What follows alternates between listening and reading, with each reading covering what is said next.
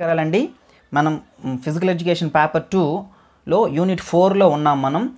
నిన్న sports psychology and its importance మనం తెలుసుకున్నాము. స్పోర్ట్స్ సైకాలజీ అండ్ ఇంపార్టెన్స్ ఒక్కసారి చూద్దాము.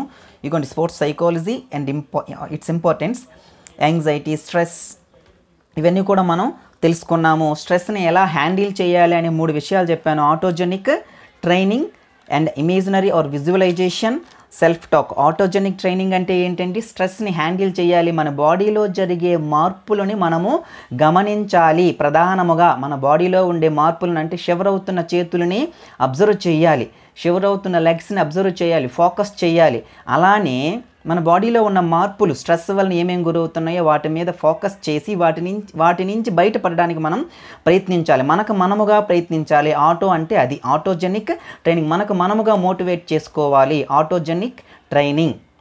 ఇంత స్ట్రెస్ని హ్యాండిల్ చేసే విధానం. ఇమేజినరీ అంటే మంచి విషయాలను మనము ఊహించుకోవాలి. మనం కళ్ళు ముయ్యగానే ఆ సందర్భం కానీ మనకు మనకు ఏదైతే ఆనందాన్ని ఇస్తుందో ఏదైతే కాన్ఫిడెన్స్ని ఇస్తుందో ఆ సంఘటనల్ని మనం ఊహించుకోవాలి. మన కళ్ళు మూసుకుంటే అవన్నీ కనిపించాలి. ఆ కనిపించడాన్ని విజువలైజేషన్ అంటాం అలా కనిపించేటట్టు ఊహించుకోవడాన్ని విజువలైజేషన్ అంటాము. అలానే సెల్ఫ్ టాక్ మనతో మనము మాట్లాడుకోవాలి మోటివేట్ చేసుకోవాలి. సెల్ఫ్ టాక్ అంటే ఏంటండి? మనతో మనం మాట్లాడుకోవాలి ఇవన్నీ కూడా స్ట్రెస్ని ఓవర్కమ్ చేయడానికి మనం కొత్తగా వచ్చిన పద్ధతులు. నెక్స్ట్ ఇప్పుడు చూడండి మోటివేషన్ కోసం తెలుసుకుందాం. ఇక్కడ చూడండి మోటివేషన్ కోసం తెలుసుకుందాం. మనందరికీ తెలుసు మోటివేషన్ అనే పదం ఇంగ్లీష్ పదం. ఏ పదం నుంచి అది వచ్చింది? అంటే లాటిన్ పదం నుంచి వచ్చింది అనాలి. మోటివేషన్ అనేది లాటిన్ పదం కాదు. మనం జనరల్గా నేర్చుకునేటప్పుడు కొంచెం తప్పుగా నేర్చుకుంటాము. మోటివేషన్ అనేది ఇంగ్లీష్ వర్డ్ ఈ ఇంగ్లీష్ వర్డ్ దేని నుంచి వచ్చింది అంటే లాటిన్ వర్డ్ నుంచి వచ్చింది. మువర్ అనే లాటిన్ వర్డ్ నుంచి వచ్చింది. మువర్ అంటే అర్థం ఏంటి? To change to move. అంటే మార్పు తీసుకువచ్చేది. అంటే మోటివేషన్ అంటే అర్థం ఏంటి? మనలో మార్పు తీసుకువచ్చేది. మనకి నెట్ సెట్ ఎగ్జామ్ క్వాలిఫై అవ్వలేము అని అనుకుంటున్నాము. లేదా నేను చదవనని నువ్వు కూర్చున్నావు. ఎవరైనా సార్ చెప్పిన పాఠం విన్నాక ఆహా ఇలా ఈజీగా ఉందా? మనం చదవడానికి అవకాశం ఉంది మనం చదువుదాము చదివితే మనం నెట్ క్వాలిఫై అవుతాము అని నీకు వస్తే నీకు ఏం దొరికినట్టు? మోటివేషన్ దొరికినట్టు. ఆ మోటివేషన్ ద్వారా నువ్వేమయ్యావు? నీ ఆలోచనలో మార్పు వచ్చింది. మొన్నటి వరకు నువ్వేమనుకున్నావు? నేను నెట్ క్వాలిఫై అవ్వలేనేమో అనుకున్నావు. క్లాసులు విన్నాక సార్స్ స్టేట్లో ఉండే ఫ్యాకల్టీస్ ఎవరైనా చెప్తున్నప్పుడు వినేటప్పుడు ఆహా ఈజీగా అనిపిస్తుంది. ఓకే నేను నెట్ క్వాలిఫై అవ్వగలను అని నీలో మార్పు రావడమే మోటివేషన్. అంటే మువ్వర్ అంటే ఏంటండి? మనలో మార్పు తెచ్చేది. అది ఏదైనా అవ్వచ్చు. ఒకవేళ డబ్బు వల్ల మనలో మార్పు వచ్చిందనుకోండి అక్కడ డబ్బును మోటివేషన్ అంటాం. ఎవరైనా కొడతారు తిడతారు అని ఒక పని మనం చేసామనుకోండి దాన్ని కూడా మనం మోటివేషన్ అంటాం. ఇలా మనలో మార్పు తీసుకువచ్చేదే మోటివేషన్. మోటివేషన్ అనే పదము మువర్ అనే లాటిన్ వర్డ్ నుంచి తీసుకువచ్చింది. లాటిన్ వర్డ్ ఇది డిఎస్సి పరంగా చాలా ఇంపార్టెంట్. దాని మీనింగ్ ఏంటంటే టు చేంజ్ టు మూవ్ కదలడము లేదా మార్పు చెందడము. ఒకవేళ మీ మీనింగ్ అడిగితే. నెక్స్ట్ చూడండి. మోటివేషన్కి జనరల్ సెంటెన్స్ కొన్ని చెప్తాను. ఇంపార్టెంట్ సెంటెన్సెస్ అన్నీ కూడా నేను రాశాను.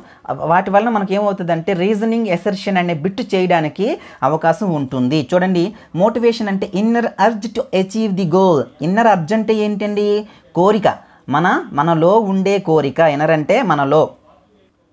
మనలో ఉండే కోరిక ఏదైనా సాధించాలనే మనలో ఉండే కోరికనే ఏమంటామంటే మనం?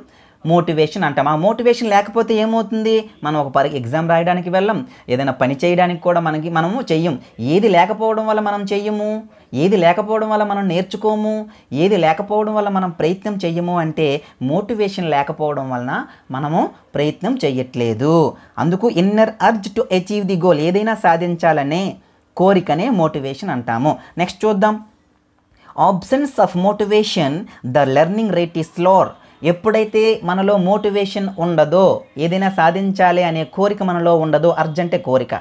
ఆ కోరిక లేనప్పుడు ఏమవుతుందంటే మనం దేన్నైనా నేర్చుకోవడానికి కానీ మనం మోడిఫై మనం మన మనల్ని మనం మార్చుకోవడానికి కానీ మనం ఇష్టపడము. స్లోవర్ చాలా స్లోగా ఉంటుందంట. ఏ ఏంటి స్లోగా ఉంటుంది? లెర్నింగ్ రేట్ అనేది స్లోగా ఉంటుంది. ఇది important absence of absence of motivation the learning rate is slower అని ఉంటే నువ్వు రీజనింగ్ ఎసర్షన్లో నువ్వు రైట్ అంటావా రాంగ్ అంటావా? ఎస్ ఎసర్షన్ ఈజ్ రైట్ అని అంటాం. ఒకటి ఎప్పుడైతే రైట్ తెలిసిందో రెండోది కూడా రైట్ అయితే బోత్ ఆర్ రైట్ అనే ఆప్షన్ ఉంటుంది. అది మనం పెట్టడానికి అవకాశం ఉంటుంది. ఒకవేళ రెండింటికి కూడా లింకప్ లేకపోతే లింకప్ ఉంటే both are right R is correct explanation of A అని మనం ఆన్సర్ చేయడం అది ఎలా చేయాలో నేను ముందు ముందు చెప్తాను. కాకపోతే ఇటువంటి స్టేట్మెంట్స్ అన్నీ కూడా మనం గుర్తుంటేనే రీజనింగ్ ఎసెర్షన్ అనే బిట్ మనము పెట్టగలుగుతాము. ఏం గుర్తుండాలండి? స్టేట్మెంట్స్ గుర్తుండాలి. దానికి సంబంధించిన స్టేట్మెంట్ ఇక్కడ ఒక స్టేట్మెంట్ చెప్పాం. చెప్పుకున్నాం. ఏంటి?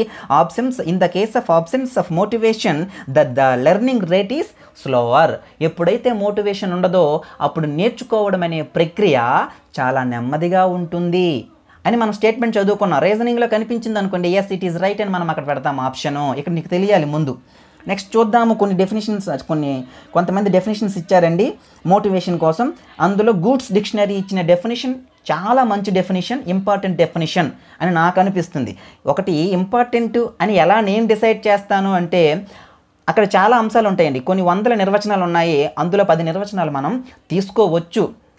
దేన్ని ఉపయోగించి మన ఎక్స్పీరియన్స్ని ఉపయోగించి మన మెచ్యూరిటీని ఉపయోగించి. అంటే ఏంటి? ఏ నిర్వచనము అత్యున్నతంగా ఉంది? ఏ నిర్వచనము కాన్సెప్ట్ని ఎక్కువగా వ్యక్తపరుస్తుంది? ఏ నిర్వచనము? ఆ కాన్సెప్ట్ యొక్క అనేక లక్షణాలను కలిగి ఉంది. మోటివేషన్ అనే పదం యొక్క అనేక లక్షణాలను కలిగి ఉంది. ఈ ఈ- గూడ్స్ డిక్షనరీ వారిచ్చే డెఫినిషన్. కొందరు ఏంటంటే దీన్ని పూర్తిగా సాటిస్ఫై చేయరు. కొన్ని లక్షణాలను మాత్రమే వాళ్ళ నిర్వచనంలో తెలుపుతారు. అన్ని లక్షణాలను తెలిపేదే అసలైన నిర్వచనము. అది ఇంపార్టెంట్ అంటే ఇంపార్టెంట్ అని ఎలా మనం డిసైడ్ చేయాలంటే ఈ క్వాలిటీస్ని బట్టి ఏది ఇంపార్టెంట్ ఏది అన్ఇంపార్టెంట్ అని మనం క్యాచ్ చేయగలగాలి.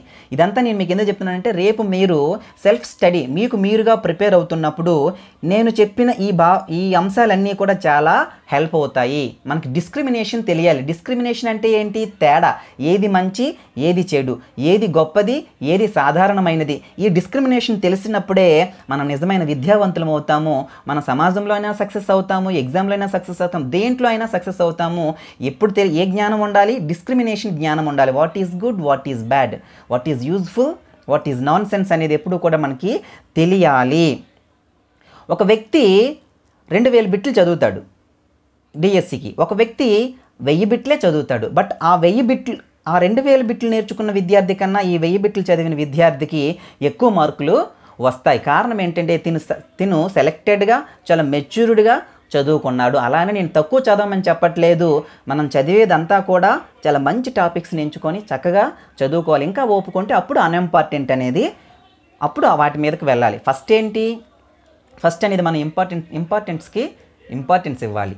ఇంపార్టెంట్ టాపిక్స్కి. నెక్స్ట్ చూడండి గూడ్స్ డిక్షనరీ ఏం చెప్తుందంటే motivation is process of arousing sustaining and regulating the activity.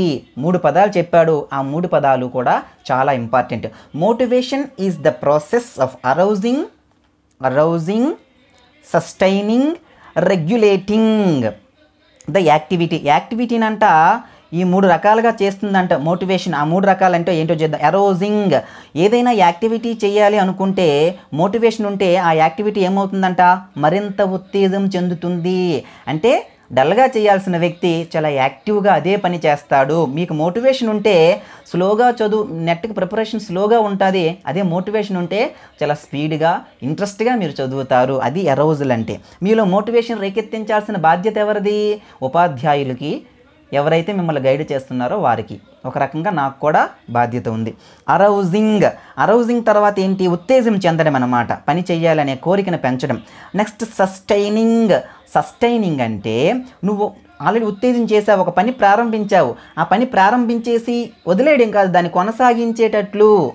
నిన్ను నేను నడిపించాలి. ఉపాధ్యాయుడిగా నిన్ను మిమ్మల్ని ఎలా నడిపించాలంటే ఒక పని ప్రారంభించేసి మనం వదిలేయకూడదు. ప్రారంభించిన తర్వాత కొంతకాలం పాటు దాన్ని కొనసాగేటట్లు చేయాలి. సస్టైన్ అంటే ఏంటండి? కొనసాగేటట్లు చేస్తుందంట. అంటే ఒక పని ప్రారంభించాలంటే మోటివేషన్ ఉండాలి. ఆ పని కొనసాగాలి అంటే మోటివేషన్ ఉండాలి. అలానే కొనసాగుతున్నప్పుడు కొన్ని తప్పులు జరుగుతాయి. అప్పుడు ఏం చేయాలి? రెగ్యులేటింగ్ క్రమబద్ధీకరించాలి. అంటే క్రమమైన పద్ధతిలో మనం పని చేసుకుంటూ వెళ్ళాలి. ఎలా పడితే అలా పని చేసుకుంటూ వెళ్తే మనం గమ్యాన్ని చేరుకోలేము. కాబట్టి మూడు పదాలు ఉన్నాయి ఇక్కడ. చాలా ఇంపార్టెంట్ డిఎస్సి పరంగా కూడా. అందుకే ఇంత స్ట్రెస్ ఇస్తున్నాను గూడ్స్ డిక్షనరీ చెప్పింది మోటివేషన్ అంటే ఏదైనా ఒక పనిని పని చేయడానికి ఒక వ్యక్తిని మొట్టమొదటిగా ఉత్తేజపరుస్తుంది. ఉత్తేజపరిచిన తర్వాత ఆ పనిని కొనసాగించేటట్టు చేస్తుంది. కొనసాగించిన తర్వాత ఆ పనిని క్రమబద్ధీకరిస్తుంది అంటే తప్పొప్పులను సరిచేస్తూ ఉంది ఇదంతా కూడా మోటివేషన్లో భాగము. మూడు పదాలు అరౌజింగ్ సస్టైనింగ్ రెగ్యులేటింగ్ చూద్దాం ఆ మూడు పదాలు మెయిన్ వర్డ్స్ అనేది ఇక్కడ నేను రాశాను. ఆ తాలూకా డిక్షనరీ గూడ్స్ డిక్షనరీ తాలూ డెఫినేషన్ గుర్తుపెట్టుకోవాలంటే మొత్తం మొత్తం గుర్తుపెట్టుకోవాల్సిన అవసరం లేదు. ఈ మూడు పదాలు కనిపిస్తే గూడ్స్ డిక్షనరీ అని నువ్వు చెప్పొచ్చు. ఇది ఈ డెఫినేషన్ ఎవరిచ్చారని అడుగుతారు. మనకు జనరల్గా motivation is the process of arousing sustaining and regulating the activity అని క్వశ్చన్ ఇచ్చేసి ఆప్షన్స్ కింద ఇస్తాడు. సైకాలజిస్టుల పేర్లు గూడ్స్ డిక్షనరీ అని ఇలా డిఫరెంట్ డిఫరెంట్గా క్లార్క్ అండ్ క్లార్క్ అని ఇలా డిఫరెంట్ డిఫరెంట్గా సైకాలజిస్టుల తాలూగా నేమ్స్ ఇస్తాడు. మనం ఎవరిని ఎంచుకోవాలంటే గూడ్స్ డిక్షనరీని మనం ఎంచుకోవాలి. ఎప్పుడు? ఆ క్వశ్చన్లో అరౌజింగ్ సస్టైనింగ్ రెగ్యులేటింగ్ అనే మూడు పదాలు కనిపించినప్పుడు నెక్స్ట్ చూడండి మనం ఏంటంటే ఇంతవరకు డెఫినిషన్ నేర్చుకున్నాము. ఒక పనిని ఉత్తేజపరుస్తుంది ఆ పనికి ఆ పని జరిగేటట్టు కొనసాగించబడుతుంది అలానే క్రమబద్ధీకరించబడుతుంది. ఇవన్నీ కూడా ఎవరు చేస్తారంటే మోటివేషన్ చేస్తుంది మనలో. నెక్స్ట్ స్టేట్మెంట్ చూడండి it is complex to understand మోటివేషన్ని అర్థం చేసుకోవడం అంత సులభమైన అంశం కాదు. It is complex to understand. Next చూడండి. It is foundation of goal seeking activity it is it is foundation of goal seeking activity goal seeking activity అంటే ఏంటండి? ఏదైనా ఒక యాక్టివిటీ జరగడానికి మొట్టమొదట ఉండాల్సింది ఏంటంటే మో మోటివేషన్ ఇట్ ఈస్ ఫౌండేషన్ ఏంటండి ఇది? ఇట్ ఈస్ ఫౌండేషన్ అనమాట పునాది లాంటిది అనమాట ఏదైనా ఒక యాక్టివిటీ నేర్చుకోవడానికి. ఏది పునాది? మోటివేషన్ ఈ స్టేట్మెంట్స్ అన్నీ గుర్తుపెట్టుకోవాలండి. నెక్స్ట్ చూడండి. Motivation is psycho physiological process psycho physiological process అంటే మానసికమైనది మరియు శారీరకమైనది కూడాను. శారీరకమైనది కూడా. అంటే ఈ ఈ విషయం తెలియ మనం ఏంటి మనకి క్వశ్చన్లో ఇస్తాడు. Motivation is psycho related motivation is physio physiological related motivation is both అని ఇస్తాడు ఆప్షన్ అప్పుడు మనం ఏం చేయాలి? మోటివేషన్ అనేది బోత్ ఎంచుకోవాలి. రెండు కూడా మనం ఏమనుకుంటాం ఒక మనసుకు సంబంధించినదే కదా. మోటివేషన్ ఈ సైకలాజికల్ ఫ్యాక్టర్ అని అనుకుంటాం. But motivation is psycho physiological process motivation ఉంటే నీ మనసు ఒక పని చేయడానికి అంగీకరిస్తుంది. పని చేయాలని బుద్ధి పుడుతుంది. అట్ ద సేమ్ టైం నీ శరీరానికి నీ శరీరంలో కూడా కొన్ని హార్మోన్స్ రిలీజ్ అయ్యి నీ బాడీని యాక్టివేట్ చేస్తుంది. ఏది యాక్టివేట్ చేస్తుంది? మోటివేషన్ అనే విషయము నీలో మానసికంగా సంసిద్ధతను కలిగిస్తుంది. శారీరకంగా కూడా కొంతవరకు సంసిద్ధతను కలిగిస్తుంది. కాబట్టి ఏమన్నాము? మోటివేషన్ ఈ సైకో ఫిజియోలాజికల్ ప్రాసెస్. ఈ స్టేట్మెంట్ గుర్తుపెట్టుకోవాలి. పెద్ద కష్టమేం కాదు కదా? ఎప్పుడైనా క్వశ్చన్ తెలిసి తెలియనట్టు ఎందుకు ఉంటుందంటే ఇలాంటి స్టేట్మెంట్స్ తెలియకపోవడం వల్ల. ఇలాంటి ఇలాంటి స్టేట్మెంట్స్ మనకి ఎప్పుడైతే క్లారిటీ ఉంటుందో క్వశ్చన్ని మనం ఈజీగా ఆడుకోవచ్చు. నెక్స్ట్ చూడండి. రీజనింగ్ ఎసర్షన్ అనేది ఒక బిట్ చూద్దాం మనకి. ఎలా ఉంటుంది? రీజనింగ్ ఎసర్షన్ అనే బిట్ ప్రతి ఒక్కరము కూడా టఫ్గా ఫీల్ అయ్యే ఏరియా ఏదైనా ఉంది అంటే అది reason and assertion reasoning and assertion చూద్దాము. ఫస్ట్ ఎసర్షన్ ఇస్తాడు. ఎసర్షన్ అంటే ఒక స్టేట్మెంట్ అనమాట ఆ స్టేట్మెంట్ ముందు రైట్ ఆర్ రాంగ్ అనేది ముందు మనకు ఫస్ట్ తెలియాలి.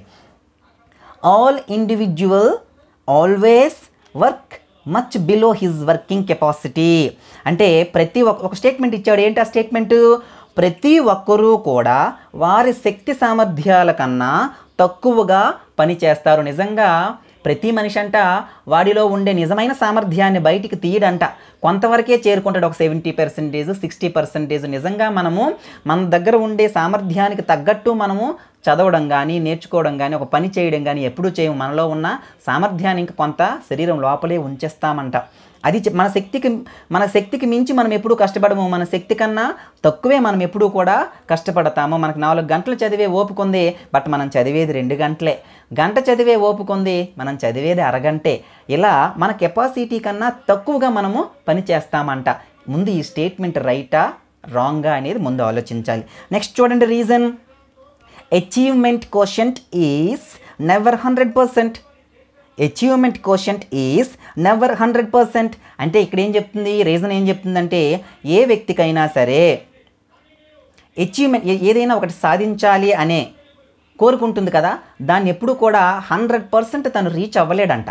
హండ్రెడ్ పర్సెంట్ రీచ్ అవ్వలేడు. తను ఏదైతే కోరుకుంటాడో మనకి హండ్రెడ్ మార్క్స్ రావాలని కోరుకుంటుంది నైంటీయే వస్తాయి.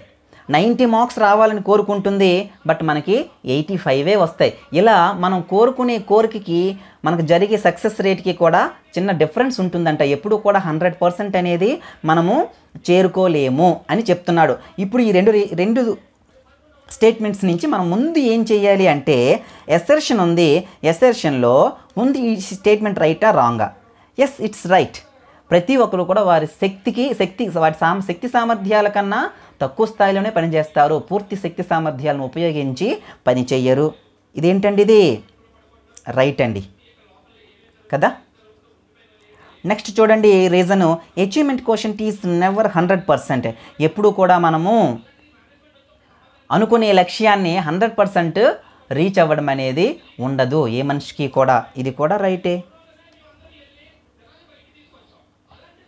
అంటే రెండు రైట్లు అనమాట రెండు రైట్లు అయినప్పుడు నెక్స్ట్ మనం చూడాల్సింది ఏంటంటే ఈ రెండింటికి సంబంధం ఉందా సంబంధం లేదా? రెండింటికి సంబంధం ఉంది కదా పైన కూడా ఏం చెప్తున్నాడో అదే కాన్సెప్ట్ కింద కూడా ఉంది. పూర్తి స్థాయిని వినియోగించడం చెప్తున్నాడు. పూర్తి స్థాయి వినియోగించకపోతే ఏమవుతుంది? పూర్తి స్థాయిలో మనం అనుకున్నది సాధించలేము. కాబట్టి ఫస్ట్ ఆప్షన్ ఉంది.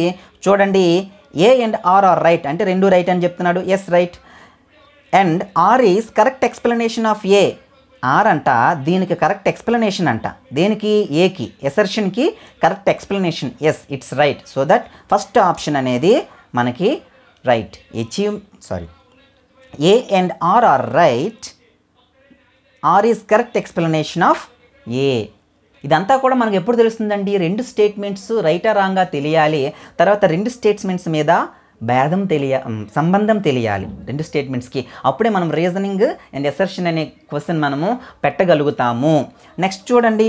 ఇందులోనే ఉంది. A true R is wrong A is wrong R is true ఈ ఈ రెండు ఎప్పుడు ఆప్షన్స్ అవ్వడానికి ఛాన్స్ ఉందంటే మనకు అందులో ఏదో ఒకటి తప్పని తెలిసింది అనుకోండి వెంటనే మనం ఈ రెండు ఆప్షన్స్కి వచ్చేయాలి.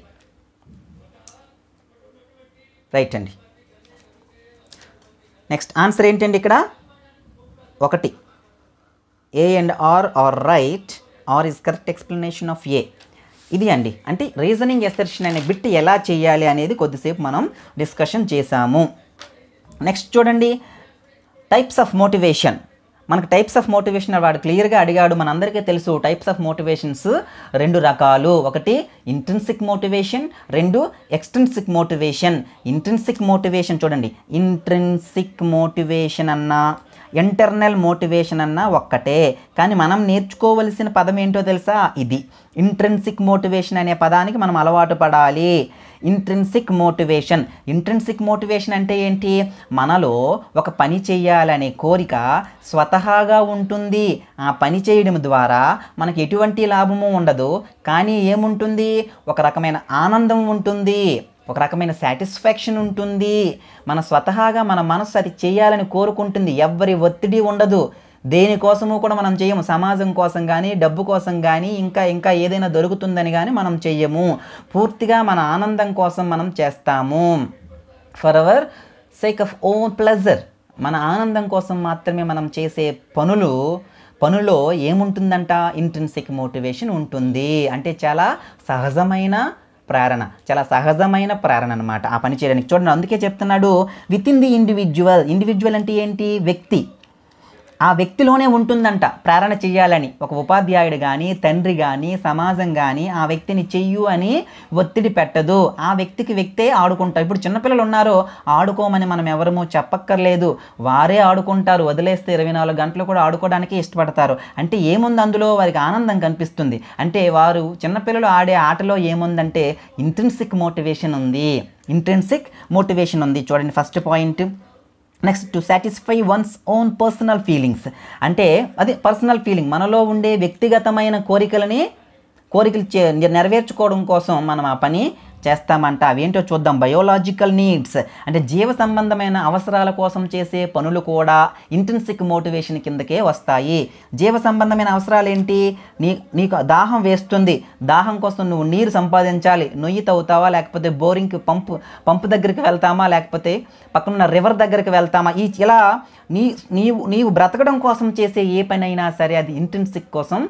వస్తుంది. ఇంటెన్సిక్ మోటివేషన్ కిందకు వస్తుంది. హంగర్ ఆకలి. ఆకలి కోసం నువ్వు చేస్తున్నావు ఆ పని. ఆకలి నెరవేర్చుకోవడం కోసం. అప్పుడు కూడా ఇంట్రెన్సిక్ మోటివేషనే గాలి కావాలి ఫుడ్ ఆహారం కావాలి వాటర్ కావాలి షెల్టర్ మనం ఉండడానికి ఇల్లు కావాలి అలానే సెక్స్ స్లీప్ మన ఇంట్రెస్ట్ మన ఆసక్తులు సేఫ్టీ మన రక్షణ ఇవన్నీ కూడా మనము బ్రతకడానికి అవసరమైన అంశాలు. కాబట్టి వీటి కోసం చేసే ఏ పనైనా సరే ఇంట్రెన్సిక్ మోటివేషన్ కిందకి వస్తుంది. ఆ పదాలన్నీ మీరు కంఠస్థ పెట్టుకోండి. నెక్స్ట్ చూడండి. ఎప్పుడైతే ఎప్పుడంట ఒక వ్యక్తికి ఇంట్రెన్సిక్ మోటివేషన్ కలుగుతుందంట అంటే ఆ వ్యక్తికి ఆ ఆ యాక్టివిటీ ఆ పని యొక్క మీనింగ్ అర్థం తెలియాలి అలానే రియల్ వాల్యూ తెలియాలి. గేమ్స్ ఆడటం వలన పెద్ద స్థాయికి వెళ్ళి ప్రపంచం మనం గుర్తించి వేల కోట్లు డబ్బులు వస్తాయి అని అని చెప్తే అది రియల్ మీనింగ్ కాదు. రియల్ మీనింగ్ ఏంటి? ఒక గేమ్ ఆడటం వలన మన శరీరం ఎంతో ఆరోగ్యవంతంగా తయారవుతుంది అనే కాన్సెప్ట్తో నువ్వు గేమ్ ఆడాలి. అలా ఆడితే నీలో ఏమున్నట్టు ఇంట్రెన్సిక్ మోటివేషన్ సమాజంలో గుర్తింపు కోసం కానీ డబ్బు సంపాదించడం కోసం కానీ ఇలా వీటి కోసం చేస్తే దానిని మనము ఎక్స్ట్రెన్సిక్ మోటివేషన్ అని అంటాము. చూద్దాం అంత ఎప్పుడు ఇంటెన్సిక్ మోటివేషన్ కలుగుతుందంట? అంటే విద్యార్థికి లెర్నర్కి నేర్చు అభ్య అభ్యసించే ఆ వ్యక్తికి మనం ఏం తెలియజేయాలంటే రియల్ మీనింగ్ చెప్పాలి రియల్ వాల్యూ చెప్పాలి. అప్పుడే ఆ యాక్టివిటీ యొక్క ఇంపార్టెన్స్ వాడికి తెలుస్తుంది. ఇంపార్టెన్స్ ఎప్పుడు తెలిసిందో అందులో తను ఆ పని చేయడాన్ని వాడు ఆనందిస్తూ ఉంటాడు. నెక్స్ట్ చూద్దాం. Immature can't get intrinsic intrinsic motivation చూడండి ఇంట్రెన్సిక్ మోటివేషన్ అంట మెచ్యూరిటీ ఉండాలంట. పరిణితి ఉండాలి. ఒక పని చేయాలంటే ఇప్పుడు నేను చదువుకుంటున్నాము. దానికి నాన్న కొడతాడనో లేకపోతే సమాజం తక్కువ చూపుతో చూస్తుందనో మనం చదివామనుకోండి మనలో మెచ్యూరిటీ లేనట్టు.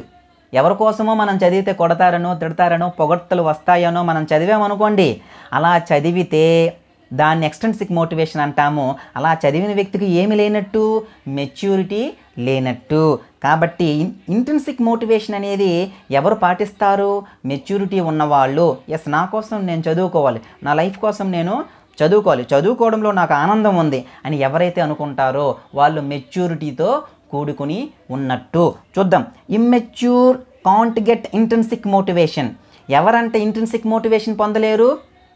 మెచ్యూరిటీ లేని వాళ్ళు. ఇమ్మెచ్యూర్ అంటే ఇమ్మెచ్యూర్ అంటే మెచ్యూరిటీ లేని వాళ్ళు ఇంటెన్సిక్ మోటివేషన్ పొందలేరు. ఇది మీకు తెలియాలి స్టేట్మెంట్ మీకు గుర్తుండాలి. మెచ్యూరిటీకి సంబంధించిన మోటివేషన్ ఏది? ఇంటెన్సిక్ మోటివేషన్ నెక్స్ట్ చూడండి. Intrinsic motivation has its own limitations అంటే ఇంట్రెన్సిక్ మోటివేషన్ అనేది అందరికీ పని చేయదు ఎవరికి పనిచేస్తుంది ఇప్పుడే చెప్పుకున్నాం పై వాక్యము. ఎవరికైతే మెచ్యూరిటీ ఉంటుందో వారికి మాత్రమే ఇంట్రెన్సిక్ మోటివేషన్ అనేది మనం అప్లై చేసేసి పని చేయించుకోగలుగుతాము. నేను చెప్తాను ఒక మోటివేషన్ స్టోరీ చెప్తాను. లైఫ్ ఎలా ఉంటుంది? అలా ఉంటుంది. లేకపోతే ఉపాధ్యాయుడు చెప్తాడు ఇలా చె- ఇలా వెళ్ళాలని.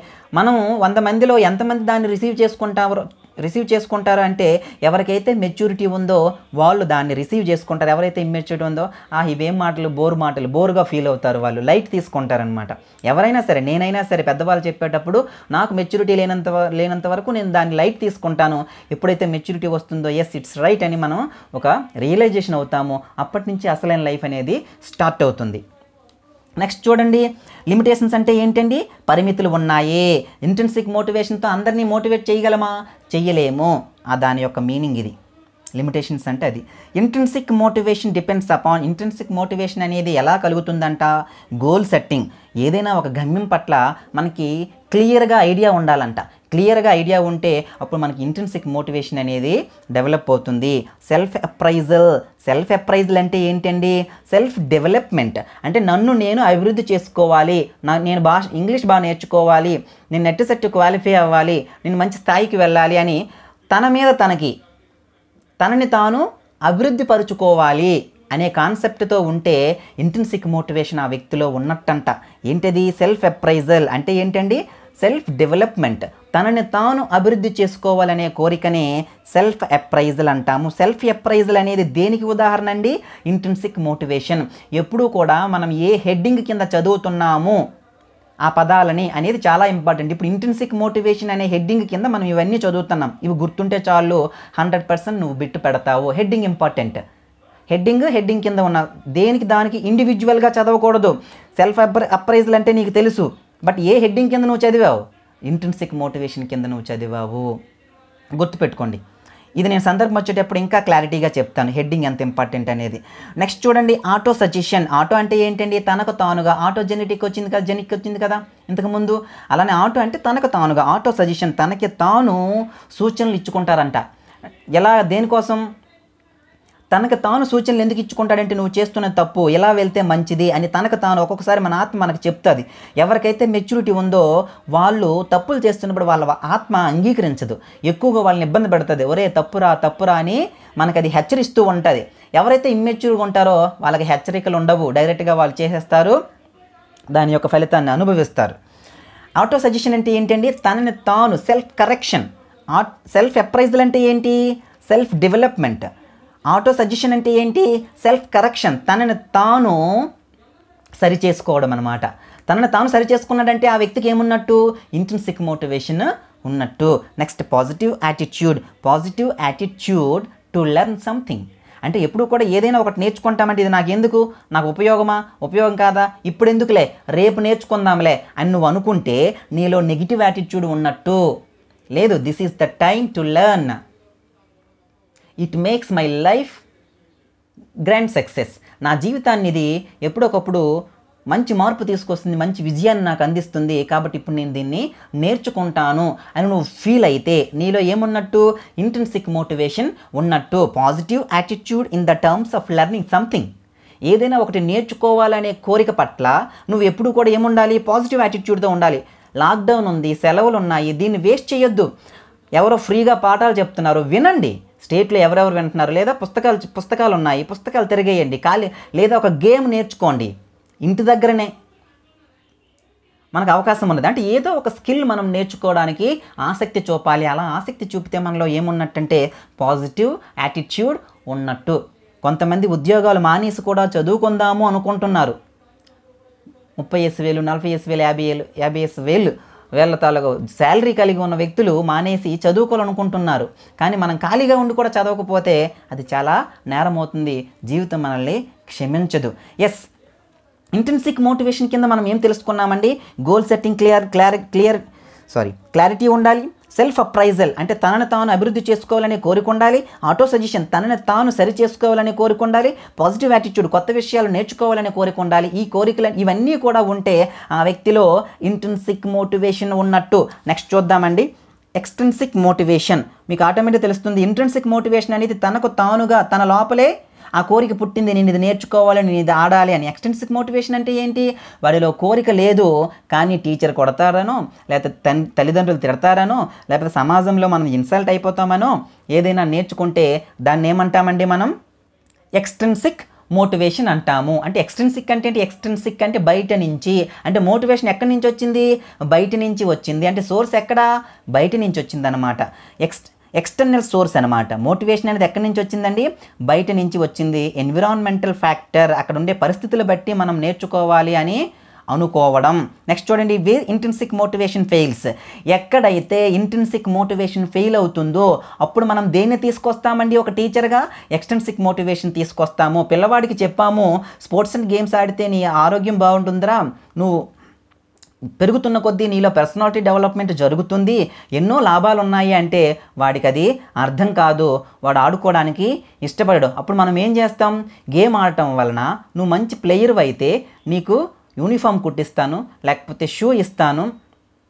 లేకపోతే అసెంబ్లీలో అందరి ముందు కూడా నీకు చప్పట్లు కొట్టేస్తాను అనే అని మనం చెప్తే తనేంటి? తను నేర్చుకొని ఏదైనా ఈవెంట్లో ఒక ప్రైజ్ తీసుకొచ్చేటప్పుడు మనం వాడికి అభినందిస్తే ఆ ఎక్స్టెన్సిక్ మోటివేషన్ అనేది కొనసాగుతూ ఉంది. ఎక్స్టెన్సిక్ మోటివేషన్ అంటే ఏంటి? బయట నుంచి వచ్చే మోటివేషన్ని ఎక్స్టెన్సిక్ మోటివేషన్ అంటాము. అర్థమైంది కదా? ఎప్పుడైతే ఇంటెన్సిక్ మోటివేషన్ ఉండదో ఎక్కడైతే మెచ్యూరిటీ ఉండదో అక్కడ మనం ఏ ఏ మోటివేషన్ ఉపయోగించాలి? ఎక్స్టెన్సిక్ మోటివేషన్ మనము ఉపయోగించాలి. ఇది important where intrinsic motivation fails where mental maturity is lacking then extrinsic motivation should take place ఎప్పుడైతే మనలో మెచ్యూరిటీ ఉండదో ఇంటెన్సిక్ మోటివేషన్ ఉండదో అప్పుడు ఎక్స్టెన్సిక్ మోటివేషన్ మనము తీసుకురావాలి. ఎక్స్టెన్సిక్ మోటివేషన్ అనేది ఇంటెన్సిక్ మోటివేషన్ పని చేయని దగ్గర కూడా ఎక్స్టెన్సిక్ మోటివేషన్ అనేది పనిచేస్తుంది. ఇది హైలైట్ పాయింట్ మనం తెలుసుకోవాలి. It works in all ages in all cases అన్ని సందర్భాల్లోనూ అంతమంది వ్యక్తులకి అంటే మెచ్యూరిటీ ఉన్న వ్యక్తులకి మెచ్యూరిటీ లేని వ్యక్తులకి కూడా ఉపయోగపడే మోటివేషన్ ఏదండి? ఎక్స్టెన్సిక్ మోటివేషన్ నెక్స్ట్ చూడండి ఎక్స్టెన్సిక్ మోటివేషన్ ఉదాహరణ ఏంటి? రివార్డ్స్ ఎవరైనా అవార్డ్స్ రివార్డ్స్ మనీ ప్రైజెస్ ఇస్తామంటే మనం మరింత బాగా నేర్చుకొని మరింత బాగా ఆడటానికి ప్రయత్నిస్తాము. పనిష్మెంట్ పిల్లవాడికి కొడతాను అంటే హోంవర్క్ చేసుకొని వస్తాడు. కొట్టను అంటే హోంవర్క్ చేసుకోడు. ఆ భయపెట్టకపోతే వాళ్ళు పనులు చేయరనమాట కానీ ఆ పని చేయకపోవడం వల్ల ఎవరు నష్టపోతున్నారు? వాడే నష్టపోతున్నాడు. ఆ విషయం వాడికి తెలియదు. ఎందుకు తెలియదంటే వాడిలో ఇమ్మెచ్యూరిటీ ఉంటుంది. మెచ్యూరిటీ అనేది ఉండదు. అలానే ప్రైజ్ బ్లేమ్ పొగిడిన తిడతామన్న భయం ఉన్నా సరే వాళ్ళు ఆ పని చేసుకుంటారు. ఇలా చేసే అన్ని పనుల్ని ఎక్స్టెన్సిక్ మోటివేషన్ అంటాము. రివార్డ్స్ అండ్ అవార్డ్స్ నిన్న కూడా నేను చెప్పాను. ఎక్స్టెన్సిక్ రివార్డ్స్ అంటే ఏంటంటే ఫుట్బాల్ టోర్నమెంట్ ఉంది. ఫిఫా టోర్నమెంట్ అయిపోయిన వెంటనే అక్కడున్న ప్లేయర్స్కి గోల్డెన్ బాల్ అవార్డ్ అని గోల్డెన్ బూట్ అవార్డ్ అని ఇస్తాము. ఇక్కడ డిఎస్సి పరంగా ఒక బిట్ ఇంపార్టెంట్ అండి. అంటే ఎగ్జాంపుల్స్ చెప్ చెప్పినప్పుడే మెయిన్ క్వశ్చన్ కూడా చెప్పేస్తే ఒక పని అయిపోతుంది. గోల్డెన్ బాల్ అనేది ఎవరికి ఇస్తారండి? బెస్ట్ ప్లేయర్కి గోల్డెన్ బాల్ ఎవరికి ఇస్తారు ఆప్షన్ ఉంటుంది. గోల్డెన్ బాల్ అనేది ఎవరికి బహుకరిస్తారంటే బెస్ట్ ప్లేయర్కా టాప్ స్కోరర్కా బెస్ట్ ప్లేయర్కి ఇస్తారు గోల్డెన్ బాల్. అలానే గోల్డెన్ బూట్ అనే అవార్డు ఎవరికి ఇస్తారంటే టాప్ స్కోరర్ టాప్ స్కో అంటే ఈ రెండింటికి తేడా ఏంటండి? టాప్ స్కోరర్ అంటే ఎక్కువ గోల్స్ వేసిన ప్లేయరు ఎక్కువ గోల్స్ ఎవరేస్తే వారికి? ఏమిస్తారంటే గోల్డెన్ బూట్ ఇస్తారు. గోల్డెన్ బాల్ ఎవరికి ఇస్తారంటే బెస్ట్ ప్లేయర్ అంటే ఈ ప్లేయరు ఆ టీం ఫైనల్కి వెళ్ళడానికి ఎంత కంట్రిబ్యూషన్ చేశాడు? తన యొక్క సహాయం ఎంత ఉంది? అటువంటి దీన్ని సెలెక్ట్ చేయడం చాలా కష్టమండి. దీనిది ఏముంది? పది గోల్ కొడితే పది గోల్ కొట్టేవాడికి ఇచ్చేస్తాము.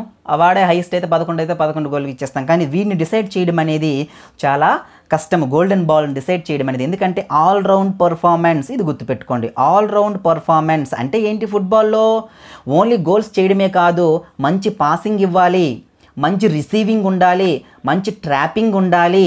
మంచి పాసింగ్ అనేది ఒక టీం యొక్క సక్సెస్కి చాలా ఎక్కువ పాత్ర పోషిస్తుందండి. నిజంగా డ్రిబ్లింగ్ ఉండాలి. అంటే పాసింగ్ అనేది ఏదో బాల్ను తన్నడమే కాదు. ఎగ్జాక్ట్గా ఎవరికి ఇస్తే ఎక్కువ యూజ్ఫుల్ అవుతుంది. ఎవరికి బాల్ పాస్ చేస్తే మరింత ఫార్వ ఫార్వర్డ్గా ముందుకు వెళ్తారు. ఎవరికి బాల్ పాస్ చేస్తే గోల్ చేసే అవకాశాలు ఎక్కువగా ఉంటాయి. ఇలా పాసింగ్లో కానీ రిసీవింగ్లో కానీ తీసుకున్న బాల్ని గోల్గా కన్వర్ట్ చేయడానికి కానీ ఎవరైతే ఎక్కువగా ఉపయోగపడతాడో ఆ టీంకి దాన్ని బెస్ట్ ప్లేయర్ అంటాము. ఆ బెస్ట్ ప్లేయర్కి ఇచ్చే award golden ball award golden ball అవార్డుని ఎవరికి ఇస్తారు? ఏ టోర్నమెంట్లో ఇస్తారంటే ఫిఫా టోర్నమెంట్లో ఇస్తారు.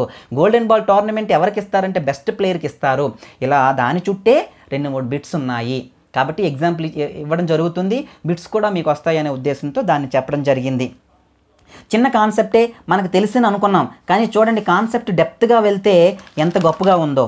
ఇప్పుడు నేను చెప్పిందంతా కూడా టెర్మినాలజీ మీద కాన్సన్ట్రేషన్ చేస్తూ కాన్సెప్ట్ని అర్థం చేసుకోవడం. అంటే మోటివేషన్ అంటే ప్రతి ఒక్కరికి తెలుసు ఇంట్రెన్సిక్ మోటివేషన్ అని ఎక్స్ట్రెన్సిక్ మోటివేషన్ అని. బట్ వాటి వెనకాల ఉన్న ఇంకా కాన్సెప్ట్ కొంచెం డీప్గా తెలుసుకోవాలి. మరియు టెర్మినాలజీ కూడా తెలుసుకుంటేనే నెట్ సెట్ లాంటి కొంచెం పెద్ద స్థాయి ఎగ్జామ్స్లో మనము క్వశ్చన్ని రీచ్ అవ్వగలుగుతాం. థ్యాంక్స్ అండి.